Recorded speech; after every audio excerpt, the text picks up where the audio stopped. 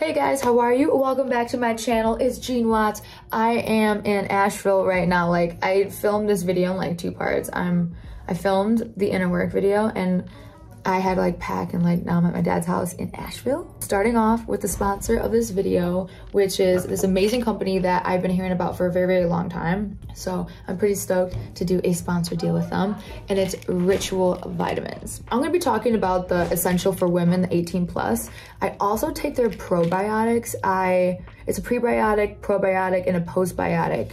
I have been trying to educate myself a ton on that, so I love this too. But again, I'm gonna start talking about this. So this brand is really cool because Kat is the founder of Ritual, and the way she kind of started this company is she was pregnant for the first time, and she wanted to make sure she wasn't putting any toxic anything in her body, on her body, anything like that. So she started learning more about ingredients and went through everything and turned her house upside down and found out it was really, really hard to find products, vitamins, all that stuff that was not toxic or didn't have suspect ingredients in there. So this badass she decided to start her own vitamin company where all of the vitamins are high key ingredients. You know exactly where they came from. It's clinically tested by universities. It's it's it's non-GMO verified, vegan, USP verified, and yeah, it's awesome. And what's really cool about them is that they, let me show you. So like the capsules are like, like that. So it's like a slow release capsule. And the reason why they did that is because it's designed to release later into your intestines. So it will it, it will dissolve into your small intestines, which I didn't know this, but that's like the key place for your body to absorb the most nutrients is in your slow, in, your small intestines. So it's also like a slow release capsule, which is awesome. Gonna take mine for today, actually.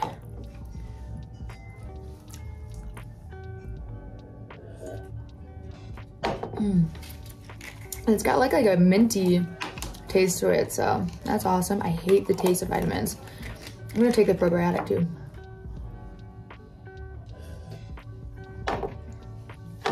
So yeah, it's a trusted company where you know that the person who designed this and everything, it's coming from the heart. It's all traceable ingredients, high quality vitamins. We love that. Health is wealth. So yeah. So if you guys wanna try them, start your ritual that you love, go to ritual.com slash Jean Watts and you get 20% off your first month. So I will link everything below. And yeah, so, okay. Now to the inner work.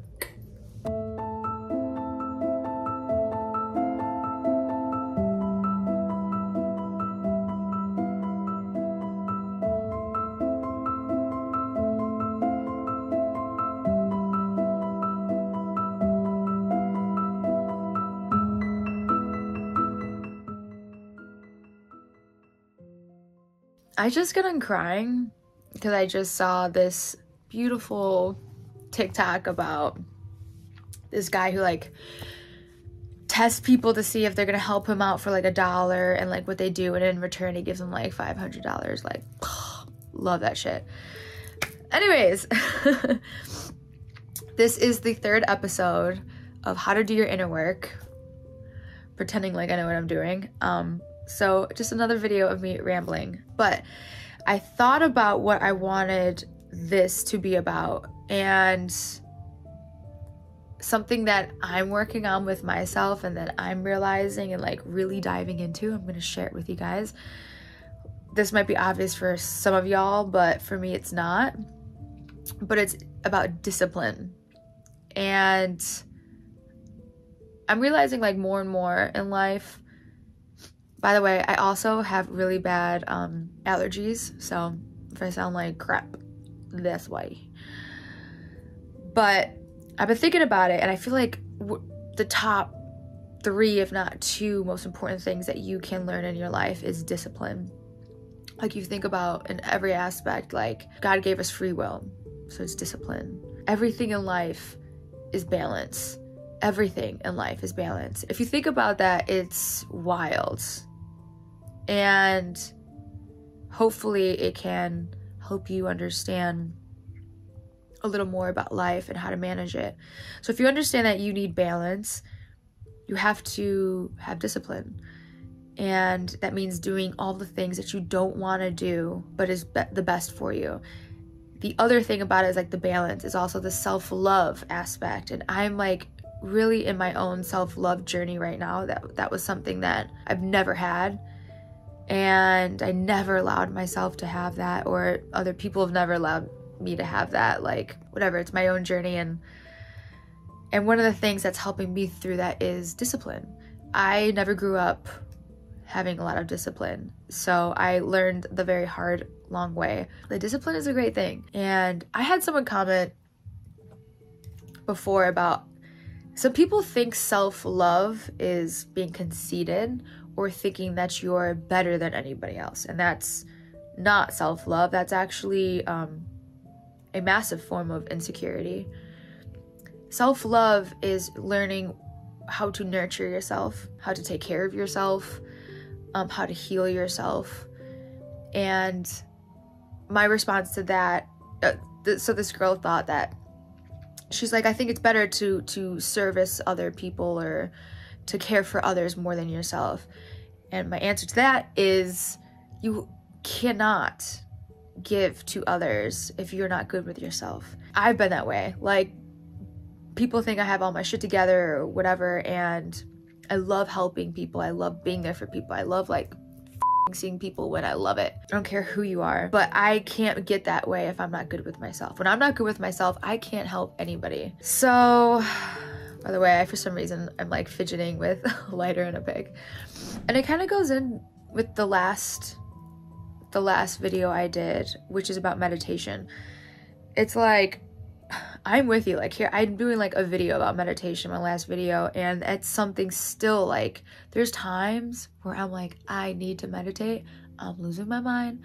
I'm getting stressed out. I'm getting out of my head.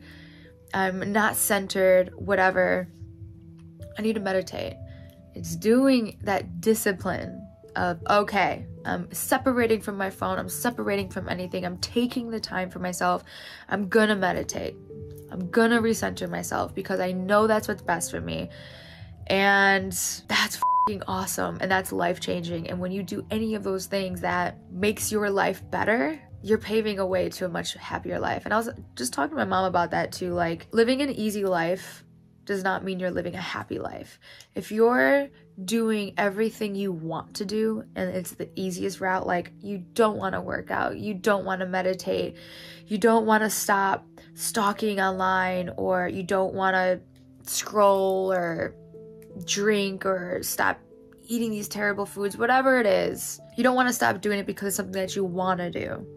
It's easier to do those things. That doesn't mean you're living a happy life. Having the balance, again, going back with balance, half of your day is doing things you want to do, and the other half of it are things you don't want to do, but it's going to make your life better. That is the perfect perfect formula for a happy life. So just whatever it is, you'll know what's best for you. Just do it.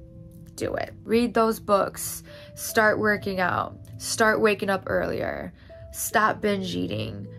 Stop scrolling so long. Put a timer on how long you're on the phone. Set time. Make to meditate. Make a ritual in the morning for yourself that grounds you every day you wake up take better care of yourself. Take those vitamins, do your skincare, whatever it is to make you feel good, internally, physically, anything. And the happier you live, the happier you can make other people happy. And that's also to dive me into the fact that we are all connected. All of us are connected. The happier you get to live, the happier I get to live, the happier others get to live. It's just, I can get so deep into that, but we are all connected. So the more happier people, the better world we live in. I need it. The other people, we all need you to do what's best for you. And I'm trying to do my part too. Like, I used to never, I would just stand in my own way about. Like, I would know I would have to practice and like I wouldn't practice. I would know I'd have to work out and I wouldn't work out. Whatever it is, I would do it. I just wouldn't do it. And because I wouldn't do it, I would then make myself feel like that I wasn't doing it. And now you have that's what's hard to have self-love for because you're not respecting yourself another example is like my boyfriend has ocd when it comes to the house that we live in and i love that but so when he's home i will clean for him because i know that he just likes the space to be clean right but when i'm by myself i live in much more clutter i'm not cleaning up as much and I hate that. It's like, why am I respecting him more than I'm respecting myself? Or why can't I respect myself enough to have my stuff clean? When I wake up in the morning, I make my bed and do all that stuff. So once I kind of acknowledge that, now I make it a point. It's like, I make sure my my space is clean. I'll make myself a good breakfast now. I'll wake up earlier to read, spend some time to focus. I will monitor when I'm on my phone. I will meditate, whatever it is. It can be a little exhausting, but if you're exhausted from life, still push through and just do those things because you're gonna feel better and you're gonna feel lighter, and then life is gonna get better. So these are things that I'm working on. So I'm passing that along. This is something that we can both work on, which is discipline. And also with discipline, doing the right thing. Focus on yourself, but always do right by others. And because what you put out in the world, you get back. I don't know if this is gonna, I don't know if this is gonna get off topic, but I see a lot of people who are stingy, especially like in business and stuff like that. For some reason, some people operate on such a negative spectrum even when you're doing business together it's like why is there like a weirdness between us when we're doing business together or whatever it is? Or other girls you'll talk to like there's always this like barrier or you know it's obviously everything that someone else is going through. But this is kind of off topic but not really actually it's not because it does go back with discipline everything. It's like every aspect. It's it's discipline, but oh, pushing yourself to open up your heart, discipline yourself to open up your heart. Time times are really tough right now, and they or whatever. Let's just think of like they as just like negative energy altogether.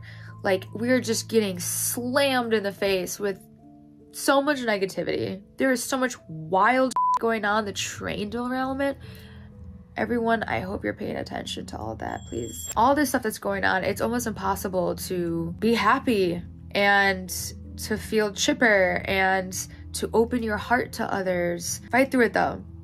Open up your heart. Still do right by others. Still love people. That person that triggers you push love onto them. Just you don't have to talk to them but love ya. Setting boundaries for myself. That's discipline choosing the right things, choosing love. And when you do that, even when it's hard, it's hard, but even when you do it, when you open up your heart, you get so much of it back. And uh, I can say so much about that, but again, every time I do these videos, I feel like I'm just rambling. But we are heading to a better world. I know it sound. I know it's getting. It's gonna get ugly there's some nasty stuff coming out. Like, think of it this way like, when you detox, it's like all this nasty stuff that comes up and it's just like getting out of the system. It's that's kind of like what happening. Like, we are as whatever i'm gonna say it if you think i'm crazy whatever this is actually really exciting it's exciting to me but we are reaching we are in a new phase of life and everybody is ascending to a higher dimension. We are becoming more spiritual beings. We're becoming more aware. We are feeling more connected. Like me doing these videos, it's just like a small example of just like the people, you guys that watch this. Like this is stuff that I love. And you guys watch it and you guys are connecting with it and you guys are telling me that it's better. Like this is happening everywhere. Like everybody is connecting with each other. We feel something more, and that is massive. So, because we are elevating and we are just reaching different times, the way that life has been structured that we've all known is just crumbling. It's just, it's not working anymore. God, my allergies is driving me nuts. but it's not working anymore. And uh, so things are going to get ugly. And, you know, if there is such thing as a they, they're trying to make us think that things are bad. It's the end of the world. uh, there's no point to anything anymore. It's it's trying to make us lose all hope and to get distracted. And let this be a reminder that is not happening. It's actually the opposite. We are all ascending. We are all like just becoming better people. We're learning that that's another thing. Whatever. I'm not going to get into that, but life's getting better. It's going to be a couple more years of this stuff, so hang in there. So, in the meantime, do your inner work. Just do your inner work. That's the best thing that you can do. Stay aware, but do your inner work. Because again, everything is connected. And the more that we work on ourselves and we operate on love and we don't let this shit like weigh on us anymore, we don't get triggered by shit anymore. We know how to heal ourselves. We know how to handle ourselves. We when you do that, you connect with the right people. You'll find the right one. You'll make the right friends. Like, you'll have the right opportunities and things will start flowing. So, the more people that can get in the flow, the better. So, be the best you can be. You're living anyways. You're you're spending the time on the planet anyways. Just push through step by step, day by day. Make a schedule the night before you go to bed. Like something I'm working on because I feel like I'm doing like a million things at once. And I have ADD. but the night before, I kind of like I don't check my phone. I'll like monitor my mind like how I'm expecting the next day to go. And the best case scenario. And I pl- do the play by play. Like I get up, I do this, blah blah blah. Next thing. And that's a great way to manifest and to prepare your brain like you're going to have a really good day the next day and have that morning ritual of what what you do that's for yourself no matter if you have a job or if you have a family wake up earlier. Set that time for yourself. You are your own best friend. You got to be good with yourself so set that time away and it will just start the rest. Something i'm gonna try to work on like i did it in one moment of my life and i kind of fell off so i'm trying to get back to it. I want to start waking up, I would love to start doing cold plunges. If I'm on cold plunge energy, guys, like I'm killing it. I'm just not there yet, but I want to wake up earlier. And I used to just get up, get up, go outside, read, recenter, don't check your phone. And then I want to get up and like go to yoga and like to sweat. I used to run and I just kind of stopped doing that, especially since it started getting colder. But I think there's something about getting up and just moving that's uh, really beneficial and it sets the tone for the rest of the day. Whatever, discipline. We'll never find the day where we're gonna want to, so let's just do it and stick with it.